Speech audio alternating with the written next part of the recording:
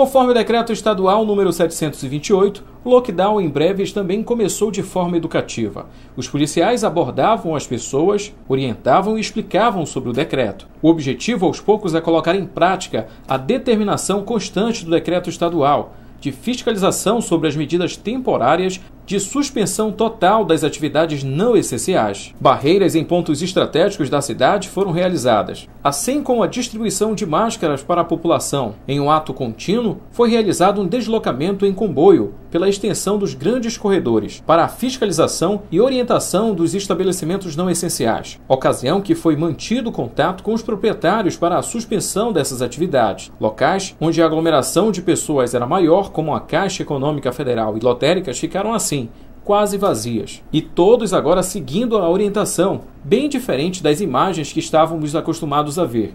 No decorrer do dia, o fluxo foi diminuindo e a maior parte da população cumpriu com as determinações. O número de casos confirmados de Covid-19 nesta última quinta-feira não subiu como de costume. Porém, a cidade ainda segue com o maior número de casos na região do Marajó. São 150 confirmados, 37 recuperados, 133 casos descartados, 16 casos em análise e, ao todo, 27 óbitos.